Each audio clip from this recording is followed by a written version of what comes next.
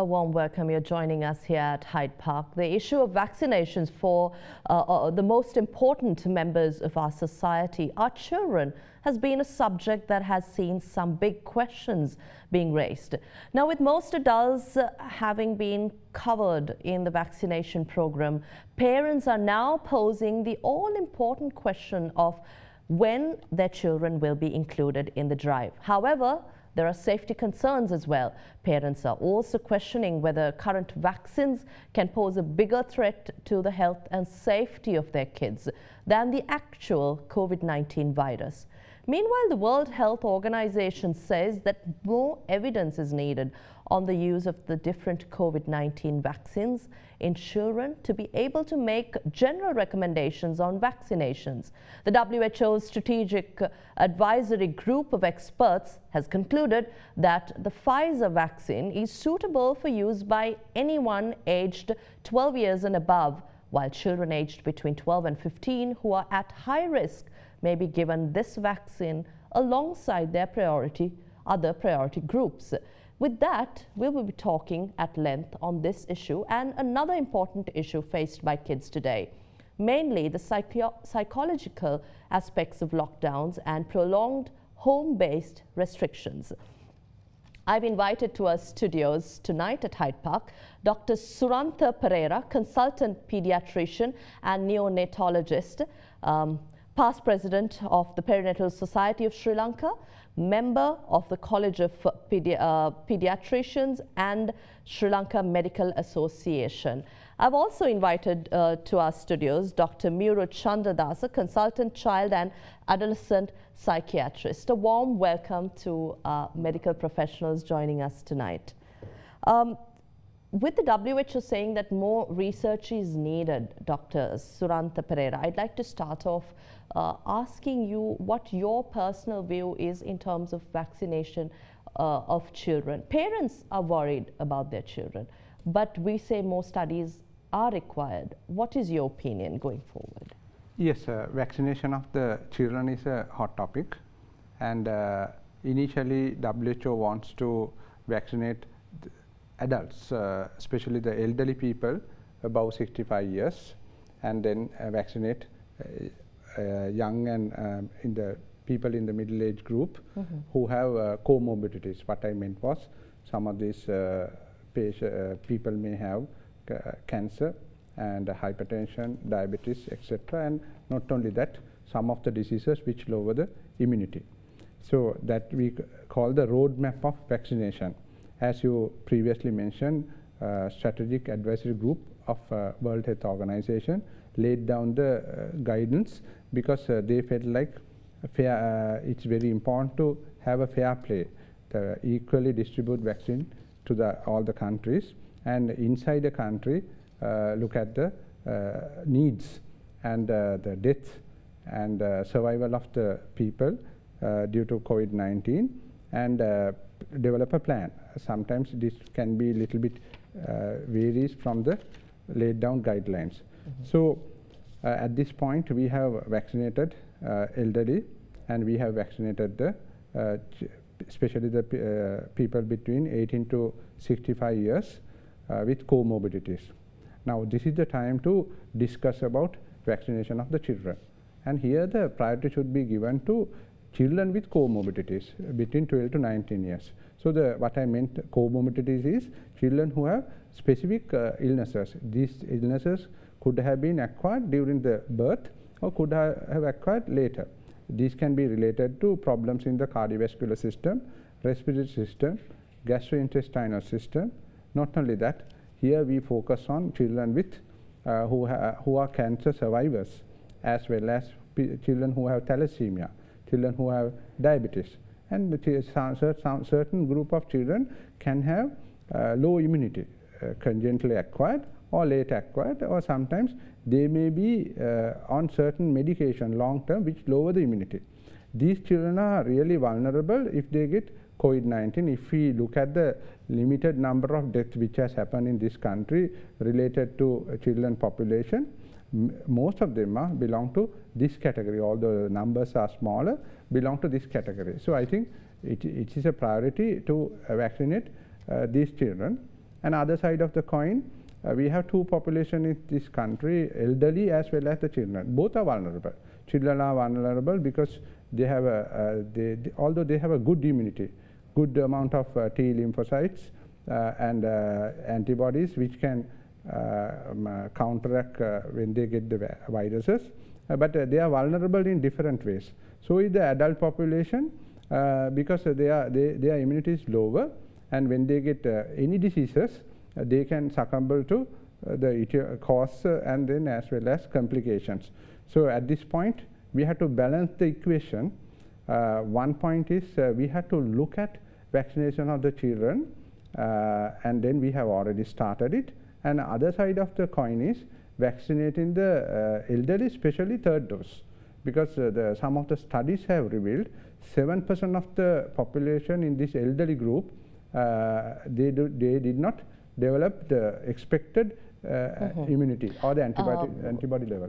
when you say that these are the two, um, the two priorities that we must focus on, at Doctor, this at, this, point, um, uh, you're, you're, suggesting and recommending uh, that we uh, look at a booster shot for adults as discussed widely um, among yes. Uh, the health authorities and the government and also children. Uh, I just want to be clear whether uh, your opinion is that we can look at vaccination of uh, children other than uh, children at risk and uh, who are immunocompromised later, or do you think that also should be a priority? it, it should take place, but the timeline is the what we mm -hmm. debate. So, if we can vaccinate the vulnerable children, and then same time vaccinate because we are going to get a lot of uh, Pfizer vaccine doses. Mm -hmm. If we can uh, consider giving the third dose uh, because we need the concurrence of the uh, Ministry of Health. Ministry of Health is advised by special committees and then uh, once we fulfill those things, then we can uh, think about vaccinating children who are above 16 and 19, that's a one specific group, and other group is between 12 and 15. Mm -hmm. So the 16 and 19, the question is whether we can give uh, two doses, and between 12 and 15, the question is whether we should give single dose and see how the immune response and then plan the second dose. Right. I'd like to turn to Dr. Miyuru Chandradasa. Now, uh, we must not forget the psychological impact of uh, vaccinations too, the aspects of this, because this is a foreign subject to us. Uh, COVID-19 is new, yes, but at the same time, um, these vaccines we know very little about them. Uh, WHO itself says there is more research that is needed. At the same time, there are anxieties built upon these vaccines, whether we need them or not. And here we're also trying to uh, understand uh, the parents' opinion of requiring vaccines for their children because of the fear of this pandemic. Um, what have you got to tell us uh, when you observe and understand the psychological uh, aspect of these anxieties? So, for example, when we say we need to vaccinate the children, uh, there is obviously anxiety among the parents because this is a new thing. So, when there is anxiety, we know an entity called mass hysteria. So, one person shares some negative information about a vaccine and that is shared in the social media and within minutes, thousand parents are sharing it. So, when you are in a COVID mental health crisis, we tend to have what we call the negative attentional bias. That is, if we listen to the news, because we are in under this pandemic, we mainly focus on the number of deaths, number of positives, but we are forgetting all the positives. For example, like children learning to use online education, children learning to use new methods of learning, all those positives are forgotten and the negatives are given more consideration because of the negative attentional bias. So about vaccination, Sri Lanka College of Pediatricians, as Dr. Surantha mentioned, have clearly encouraged that and they are just taking decisions to go ahead with that and they will give the timeline soon. For the parents, I have to tell it that is when medical professionals are coming to a decision, we are considering all the evidence around the world. So obviously, we have to understand as humans, it's okay to have some anxiety, but for children to go back to school and work with the teachers, these processes need to happen. Mm -hmm. And at the same time, when you say we have to understand um, that the, the, we have to look at the positives, give more prominence to that. But if we just focus on um, the, the, the, aspects that bother uh, our parents and our children, again, I go back to uh, the, the, um, the, the nature of this pandemic situation itself. It's new, um, not known to us, and uh, the vaccines are, as new to us. It's still being tested um, around the world. They're trying to understand it. But what is your personal op opinion about the recommendations that are coming up? And at the same time, how parents should approach this? Um, the question of whether their children should be vaccinated. How, how, how would you recommend our parents go about it? So, as a psychiatrist, what I have to say is children's brains are more neuroplastic when we say neuroplastic, their brains have more ability to adjust and change. So uh, in April, when the schools were open for a brief period, I went to pick up my son and I could see that all the primary grade students were coming in a line and keeping the two meter distance. But the parents at the gate were not keeping the distance, they were in a bunch. Because children learn very quickly, they can adapt and adjust very quickly. So opening schools and giving the social rhythm back to their life is very important. At home, uh, they are looking at screens, they are doing nothing, they are sedentary, they are gaining weight, uh, they are frustrated, they are bored, their social skills are waning. So it is important to open schools, but anything that need to be done from the pediatrician side for that to happen, we have to support that. Mm -hmm. uh, again, when we have a large number of un an unvaccinated population also, there is a risk to uh, the children. So I understand when you say, doctor, that we have to look at um, uh, look at a booster shot uh, to support uh, the already vaccinated adult and at-risk population. Um, but looking at the children itself, because our topic today to talk more about uh, children and their psychological, mental issues as well as their requirements. Um, how do you think the government and health professionals should approach this, especially in creating awareness? Because this fear is also derived with the lack of awareness and understanding among the, the parents as well as the population. Uh, how do you think we should address these issues? You meant uh, lack of awareness about the vaccination? Uh, about vaccination and about the requirement for their children. Now, this is a question and fear built among parents. So, we are trying to understand and give them more information about uh, how, how we need to approach this problem. Yeah, uh, so the question uh, uh, is uh, what is the importance of vaccination of the children and the requirement and the understanding of the society about it. So, you look at it, we can look at it differently. Uh, one thing is, uh, if we vaccinate the society, uh, many people in that so in that society, whether children are protected or not. Another thing is, if we vaccinate children, forgetting the society, whether children get the protection. Now, if we look at everything at this cross section of the time, we have covered a quite a number of uh, population at this point of time we did not uh, believe at the initial stages whether we can vaccinate 50 percent of the population so sooner. Anyway, uh, we have done it. That's a fantastic job and we must give the credit to all the people who have got involved. And then at this point, uh, we have covered most of the elderly population. We have covered most of the population between 18 and uh, 65 uh, who, who have comorbidities and we have covered most of the population above uh, 30 years or so. Between 20 and 30, there is a little bit of reluctancy getting vaccines. They are, they, you know, the young crowd uh, try to uh, choose vaccines. Some people feel like better to get Pfizer vaccine. I think there is no rationality selecting vaccines. All vaccines are equal. At the end game, they prevent death and significant illnesses. So when the society and all the people, the majority of the people, at least 90, 80, 90 percent get uh, vaccinated, the children get automatically protected. And if you look at their uh, home, this is another small environment. If the uh, elderly crowd uh, and the parents are vaccinated, the children, the vulnerability is less. And then the other uh, domain is when they go to school, uh, whether teachers are vaccinated or whether the ancillary staff is vaccinated. For my knowledge, we were able to initiate this uh, uh, program in uh, July and we were able to cover more than 90% of the teachers as well as the ancillary staff. So, the, uh, because of this children are being protected. And the second thing is that when we vaccinated the vulnerable group of children, especially children with comorbidities, uh, they get an equal chance of competing with the healthy children. So, the healthy children have a, a, a good immunity or when they get the infection, true they can transmit, but the, uh, the incidents are less, uh, but they won't get significant illnesses as well as death.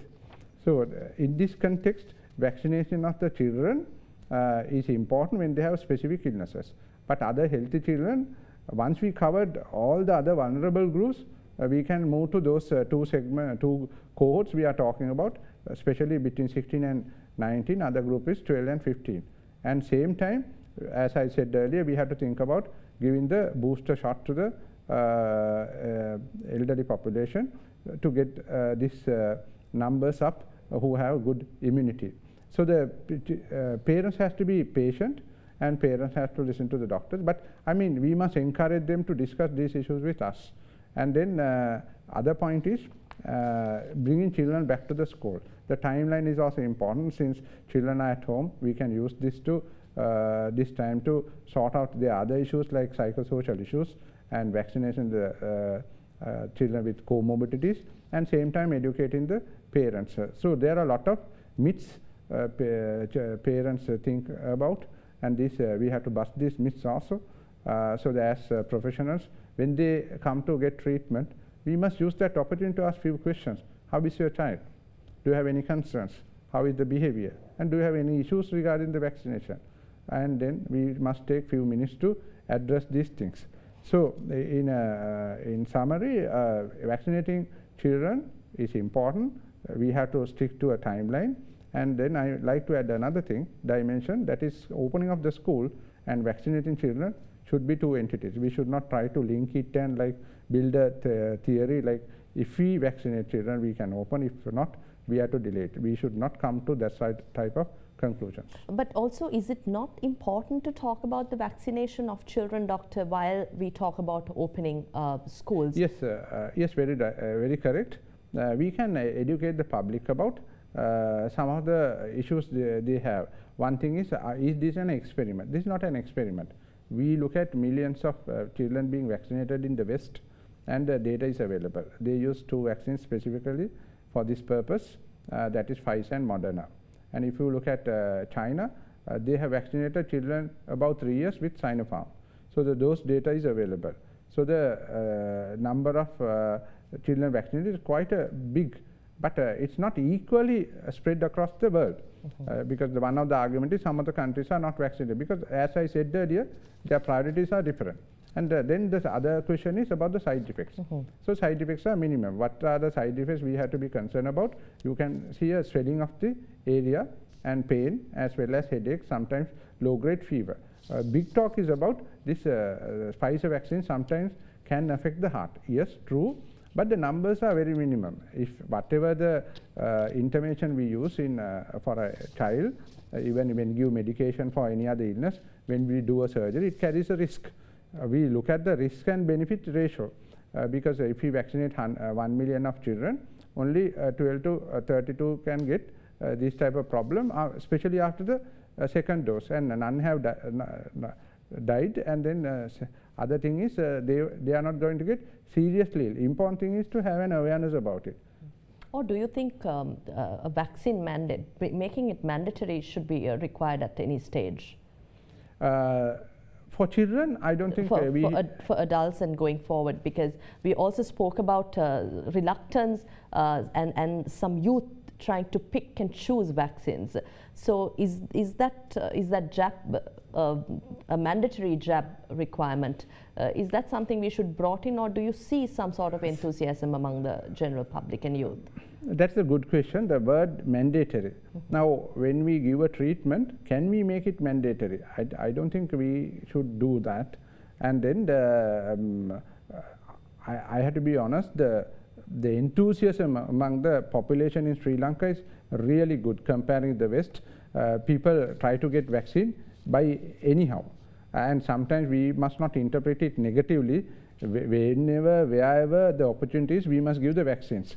And uh, then uh, um, uh, uh, it is up to them to decide. As you said earlier, educating the society about this and their responsibility is the very important thing and then we have to explain the benefits and then other countries you has used the vaccine as a passport when you travel having uh, being uh, being vaccinated is a advantage uh, because people look for that. Even when you want to enter different restaurants they ask for that uh, uh, uh vaccination card. We can do the same thing. And uh, my personal view is when we open up the country especially in public areas shopping malls where, where the people gather in a bigger number, one of the requirements should be having this vaccination proof.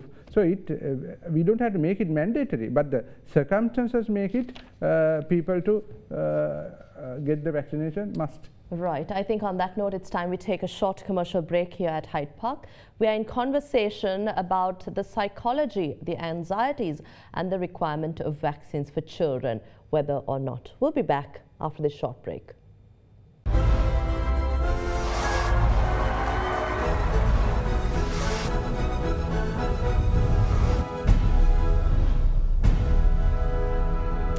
Back.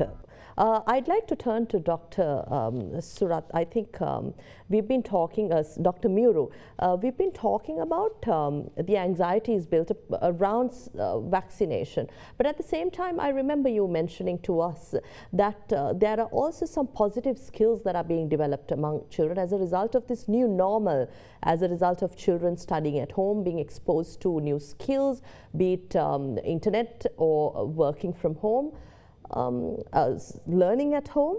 But at the same time, uh, experts say that screen time should be reduced to one hour, and there are also some negative side effects as a result of children being uh, exposed at length to these um, technologies. How do you think parents should handle this situation? Especially, this is a psychological strain to them as well, because they're on, on one side, uh, they've learned that children should be, uh, their, their screen time should be limited. And here, there's a requirement, there's some, there's forced, um, uh, they, they, they're required to engage in this kind of learning, especially because schools are closed and you are confined to this environment at home. So compared to 2018 and 19, where the COVID was not there, uh, we have been part of a worldwide study with few universities in United Kingdom. Uh, we have seen that to our clinic, child and adolescent psychiatry clinics, more and more children are presenting compared to 2018 and 19 in 2020 and 2021. Mm -hmm. There's a 20% increase in anxiety, depression, screen addiction, video gaming addiction, mm -hmm. and emotional dysregulation. So when we say anxiety, first thing, children are scared when my father comes back from home, will he bring COVID? So he's anxious. Sometimes children are screaming to the father, please wash yourself before you come inside. Then children are anxious just without any reason. Mothers say they have sleep disturbance, they have nightmares, and they are sort of anxiety. Then there's depressive symptoms. Children who used to be very pleasant, cooperative, now get angry for minute things. They yell at their parents, parents yell back at them and they say they can't concentrate. They say, I have done two hours of online work, now I can't concentrate, I'm so bored, I'm so frustrated, lot of mental health issues. And the biggest thing, the screen time increase. Because worldwide studies have shown that the screen times have elevated remarkably. So there can be some positive effects like educational time, children learning to use these platforms, but screen times is known to be very strongly associated with long-term depressive anxiety and personality factor, personality deficits. Okay. So because when we are so dependent on screens, our real world relationships, our social relationships may get impaired as well as when we spend a lot of time on screens, this dependency can cause a lot of the, the only way of coping with boredom becomes a screen. let's say children frequently say, I'm so bored, I need to watch something. Then the mother says, no, you can't watch. Then the child becomes upset and emotionally dysregulated. So only way of coping now has become the screen because child can't go out and play, can't meet their friends. So this can become a real big mental but this will also have a longer term uh, impact on children as well. Um, how, how do we manage that situation? Because yes lockdown has been prolonged um, over time but at the same time we are also looking at an exit to this pandemic situation. And that also means that uh, reintegration and reinvolvement in uh, other aspects of life should continue for a healthy child.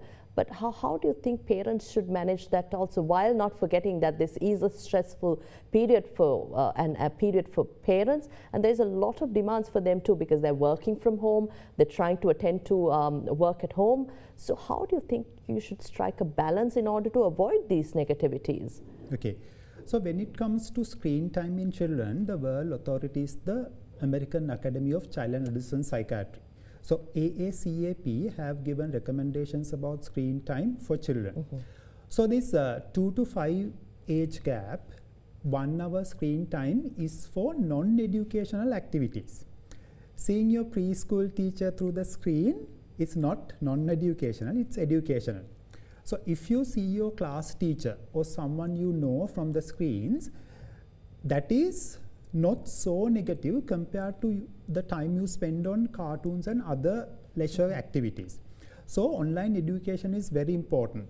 Even though we have started using it frequently during the COVID pandemic, many other countries have been using it for tertiary education for decades okay. and some people have gotten degrees even without stepping a foot in that university because it's a very important thing that enables us to gain skills that are not available in the local setting.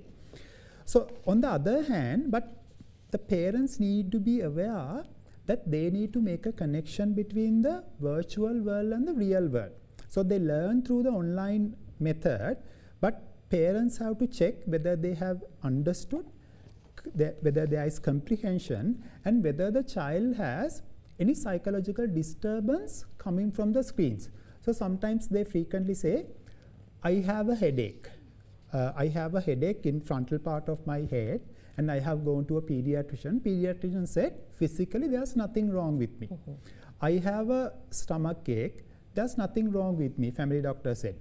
Then sometimes they will say the child does not sleep and doesn't eat at usual. Sometimes these kind of physical symptoms may be an indication of psychological stress because when there is change in the secretion of stress hormones, there's muscle tension mm -hmm. and that can cause undue pain in certain areas of the body. So if the parents are monitoring the stress, monitoring what they are looking from the screens, going through the internet browsing histories and making the, uh, the online environment safe, it is an essential part of children's learning. Uh, if I may turn to Dr. Surantha again, if I, I, think you also might have something to add on the psychological, um, the challenges and the aspect of this, uh, not just the pandemic, but the question of vaccination. And also, if we talk a little about uh, reopening of schools, while there is a requirement uh, for children to go to school to re, uh, to re-emerge and engage in activities at school, uh, there is a pandemic situation, there is psychological, uh, there is this fear built around it, and at home, uh, there are limitations, but now children are used to um, online education. While we say no reduce screen time, now there is addiction. How do we balance this situation now going forward while schools are to reopen or not? And at home, balancing the situation at home, how do you think this should be addressed? Yes, uh, that, that is a, a, good question because uh, uh, when we uh, look at this pandemic, it suddenly came and uh, 1.6 billion children in world uh, lost their education. They were homebound and then schools were closed. And if you look at Sri Lankan's situation, in 2020 we closed schools once or twice and then 2021 we closed schools in March and thereafter it was not open up to now.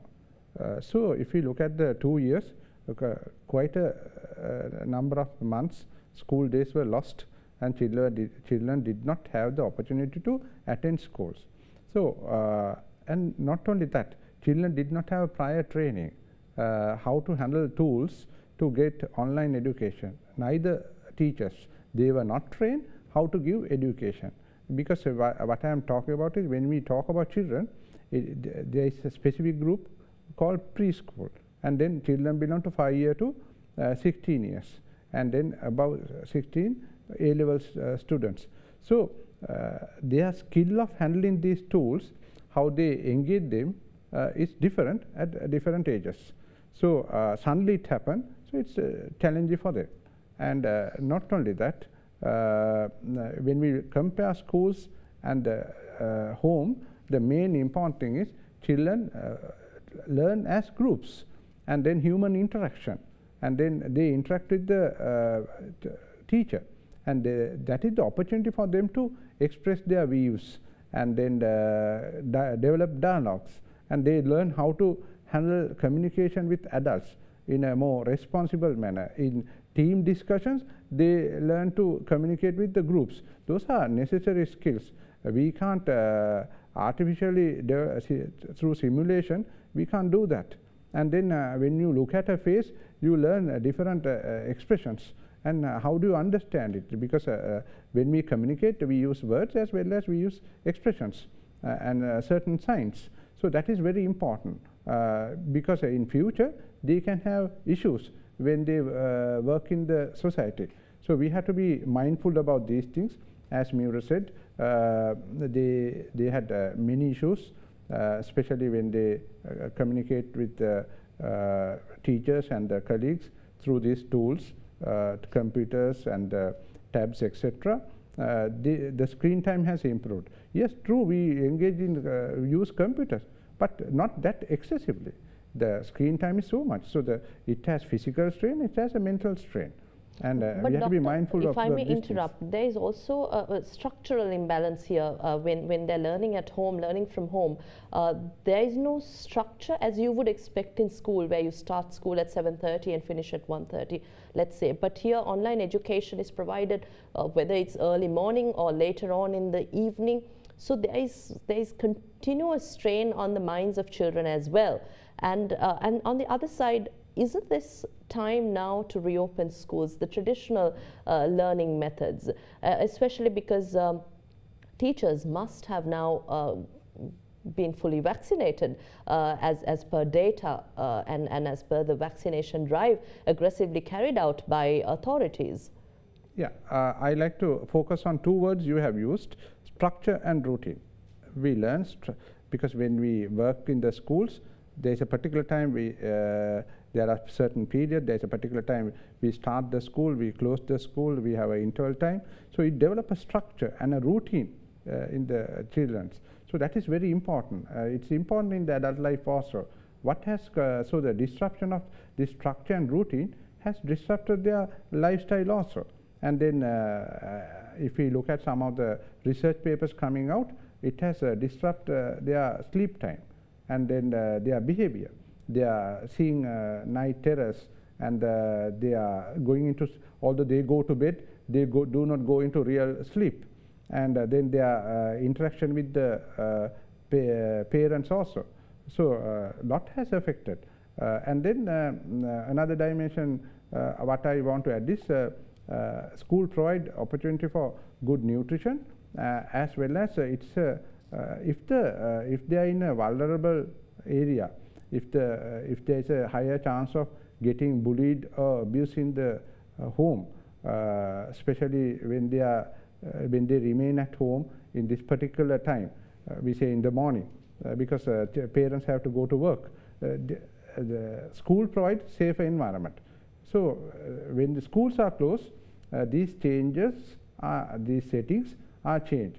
So uh, not only that uh, their structure and routine has changed, uh, some of the children have become more vulnerable to uh, child abuse and uh, some of the other health issues. And they lack exercise they develop they have developed obesity and abnormal eating habits also. Mm -hmm. so what is important is to have a timeline to open schools. So unesco has addressed it. They have addressed three key areas. That is bringing children back to school and how, do, how, we, how we are going to recover the lost time and then how we are going to continue the education. Not only that, whether uh, uh, the teachers are uh, fully trained in the counseling process because they must allow children to ventilate their grievances as well, their, well as their experiences. So, this will provide a great opportunity when the school starts uh, to counsel these uh, children and then uh, to address some of the psychological issues as well as do the uh, referral system. Mm -hmm. So, the vaccination of children also can take place. So, the sooner, the, sooner we start the school, it's better. Um, Dr. Miyuru, I think uh, we're trying to also understand what the signs of uh, the stresses of children being confined to homes and these situations are. How do they expose it? How do they put it out? And uh, what recommendations do you have to parents, elders, teachers in dealing with these anxieties? Uh, and I'd also like to add to that question about uh, a structure um, including or incorporating a structure, whether it be at home or uh, in, in, in learning, while they are not able to access traditional educational methods. How do you uh, uh, recommend that we address these issues? So very good question. The first part, the signs of psychological disturbance is the most frequent thing is irritability. That is getting angry more than usual. So parents say, my child was to be very cooperative, he used to follow instructions when I gave, but now he's a bit stubborn, doesn't follow the instructions and bit oppositional. Uh, that's the opposite of what we asked him or her to do. Yeah. So increased irritability is the first sign. Then change of sleep pattern. So sometimes online education can go into night, which will disturb the natural sleep rhythm and can cause uh, negative emotional dysregulation. So because of that, sometimes children may sleep more during the day, less during the night. So that is the second thing. Third thing, change in their appetite and eating pattern. They may be eating more than usual and gaining weight or some children who are severely having depressive symptoms may eat less and lose weight. And also difficulty in concentrating. They frequently say they can't look at the book they feel bored and they can't concentrate. So they either walk mm -hmm. or they look at the phone or the notifications. Mm -hmm. So these are the signs of psychological distress. Then what the parents have to do, first thing as you said, bring structure back to home. At school, there were certain periods, there was a bell, but at home, there's not, no such thing. So at home, you have to uh, draw a small pictures and put it on where the children can see where when you get up, you have to complete these three tasks. When you have the lunch, you have to complete these three tasks. Everybody in the house can see them. Then if you complete them, there's a social reward. What is the social reward? Maybe you can watch TV for one hour, your favorite program. Or if you complete this, father will take you and have some playtime in the front yard. Or you can have your favorite meal, maybe cook something special if you have completed these tasks in the schedule the parents have made. So when you are making the schedule, obviously there's online education, there should be playtime, time for music, time for drawing, depending on the child's cognitive stage and the psychological development. Then obviously this is a great opportunity for parents to teach skills that are very important. So if when you go to school, there's a period for mathematics, science, Sinhalese, but there's no period for time management, empathy, emotional understanding. So those are very important skills that parents can impart on children during this time. So those are the things parents can Shouldn't do. the onus of bringing a structure, especially when it comes to uh, online education, be also on health authorities or those providing online educations, teachers, be it from your school? Because now we understand that parents at home they're trying to balance their work from home requirements and um, requirements and their, their, commitments and demands uh, uh, at home. And uh, providing a structure through education time uh, to, to a timetable or whether it be morning to afternoon without uh, dragging it until evening. Shouldn't, shouldn't that also be shared by educational authorities? Absolutely correct. So as the Sri Lanka College of Child and Adolescent Psychiatrists, I'm very happy to say we have even made a request to Derana about the times of online education and there has been a lot of positive response from the well recognized media. But obviously some uh, tuition classes have been going on in the early morning or very late night. Obviously parents please be uh, careful when your child's sleep duration and the sleep structure changes it can cause increase in irritability and depressive symptoms and it can invariably can cause long-term psychological problems mm -hmm. and these uh, yes this can affect in the long run as well. Mm -hmm. uh, I think we have very little time but I'd like to talk, uh, turn to Dr. Surantha Perera. Where do we go from here? What strategies do you recommend? We spoke about whether or not to open schools. We spoke about whether or not to vaccinate children um, between uh, the ages of 12 and 15 and 15 to 19 the strategies you propose going forward. Um, we are talking about a new normal, but we're also talking about beyond this. Um, managing um, symptoms of COVID, the fears of COVID, and other requirements for children and adults. What are the strategies you propose? Yeah, uh, if we talk about vaccination of the children, we have to balance it, vaccinating the uh, some of the needy populations. Mm -hmm. So I think uh, we commence vaccinating children with comorbidities on 24th uh, of September. Now it has been rolled out to uh, other uh, districts. it will be rolled out to other districts on 1st of October. on that day, we celebrate the World Children's Day in Sri Lanka. So that's a good day to address these issues. And the second thing is we can vaccinate the uh, elderly population who need the third dose. We need the concurrence of the Ministry of Health regarding this. Once we do both, the, both of these things, uh, we can move to vaccinating other children between 16 and 19 years as well as children between 12 and 15 years. Mm -hmm. So that is the timeline. It can we can achieve these targets within the coming months because we are expecting a lot of Pfizer vaccine as well as the other vaccine stocks. So that way we can population, uh, we can when we look at the uh, Sri Lankan population, we can uh, make sure the vulnerable groups are protected against the COVID-19. Then when we come to uh, end of November, beginning of December, like we can uh, get uh, think about opening the schools.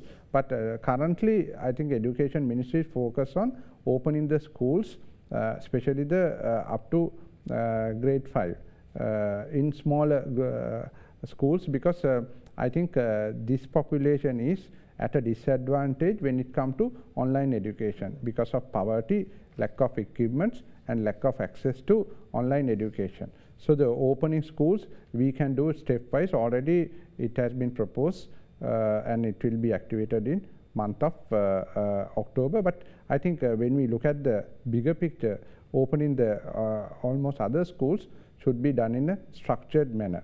And uh, we can initiate some of the other discussions parallel to these things. Uh, what about the future of children in post-COVID era? After this, what where we should go? And then, uh, we, because the, uh, we, our approach should be scientific and robust, and then we have to include many stakeholders, groups in this discussion. one example is if children are get used to more of, of these gadgets, uh, will they be more autistic? And then how, how would be their relationship with the peers as well as the colleagues in future? And as well as we have to be concerned about parental anxieties and their questions. We can use the mass media to educate them. Whenever possible we should do it. I mean we don't have to appear all the time in these tvs we we can do it in a smaller way when we meet them in different discussion arenas. Like uh, when we do the consultation it can be in the ward it can be on the road when we meet uh, our friends, uh, we, I, I as a person, usually all opportunities to educate them because it's our uh, role uh, as a responsible professional people in the society to make sure society is safer. Uh, I think uh, you brought us to a very good um, uh, wrap up, uh, a topic where we can discuss um, the future for children in post-COVID era. That's something that I would like to ask both our professionals, medical professionals, um, as, as a um, note to uh, wrap up tonight's discussion. What should we prepare for? Yes, so the, my, I like to like show the impact this way Uh, we make decision as adults in the boardrooms. Uh, but children are watching us, uh, whether are we opening the school, are we giving the vaccines, uh, are, have we involved them in decision making? Uh, what about the youth and the adolescents? And we have to open a discussion. We must not be very like, we must not practice like divisional politics and we must bring people together and uh, we must uh, be concerned about their opinion also. And uh, the second thing is, uh, as uh, intellectual people, uh, we have different interests. I think my interest is the child, children's problem. And there are other groups who are interested in public health, some are interested in vaccination, some are interested in education. We should come together. Mm -hmm. So we call it intersectoral coordination. That is very important. And then uh, uh, government has a huge role to play and we should initiate discussion what is our next five year plan?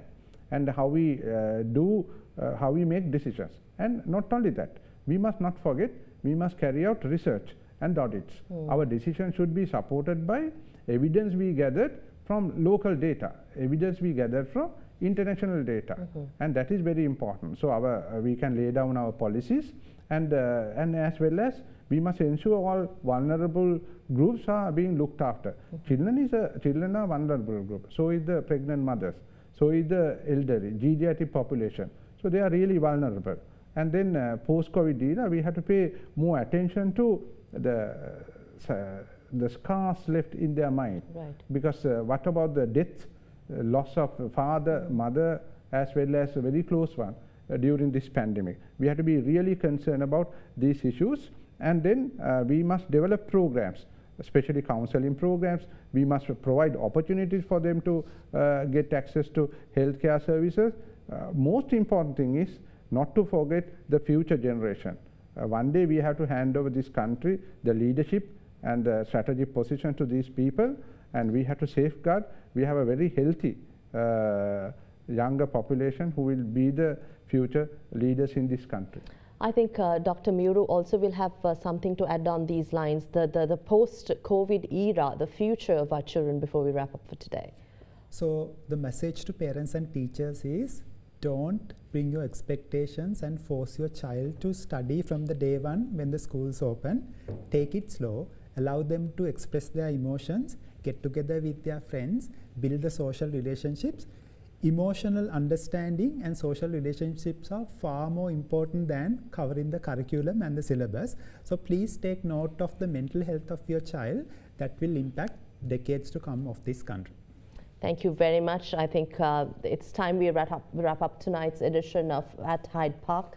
Uh, we had with us Dr. Surantha Perera, consultant pediatrician and neonatologist, uh, past president of the Perinatal Society of Sri Lanka, a member of the College of uh, Pediatricians, and a member of the Sri Lanka Medical Association. Thank you very much for your time here. Uh, also, we had uh, with us joining today at Hyde Park Dr. Miyuru Chandradasa, consultant, uh, child and adolescent psychiatrist, and also you're an editor at the Sri Lanka College of Child and Adolescent Psychiatrist Journal. So thank you for uh, sharing your insights with us tonight. Thank you very much. I think we were able to speak at length about the psychological uh, impact as well as the anxieties built around vaccination of children, the, the requirement for children, how we need to prepare ourselves in bringing a structure and routine for children, and at length about the situation surrounding the pandemic. Thank you very much for joining us here at Hyde Park tonight. Have a pleasant evening. Good night.